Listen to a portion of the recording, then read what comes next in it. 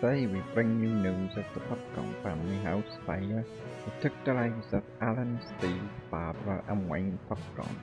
We take you over now to Mr. Patel at the scene, alright? Mr. Patel, you're there, alright? Yes, hello Sue. Here I am at the scene of the fire. I can't help but if I hadn't fallen over, this wouldn't have happened. I'm sorry, Sue.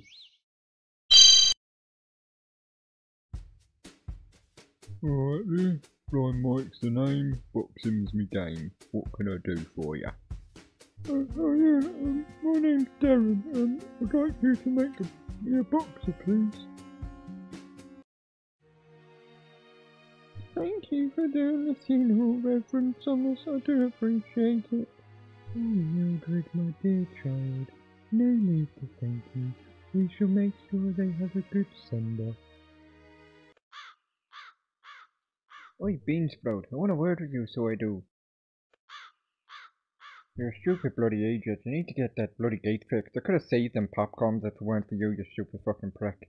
Oh, I am sorry, for me, Frank. I know it's all my fault. I kept meaning to get that gate fixed. I did. I'm so sorry. I bet everyone's blaming me now.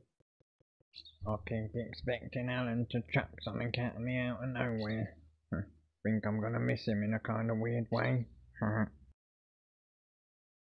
Yo, I can check things out if you want, yo. Eh, eh, eh.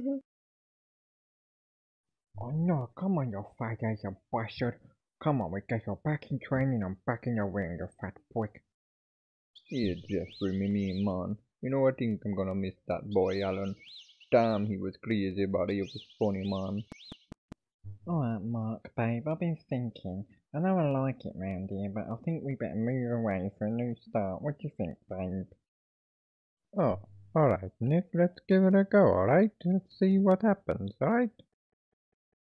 We are gathered here today to lay to rest Steve, Barbara, Alan, and Wayne Potter.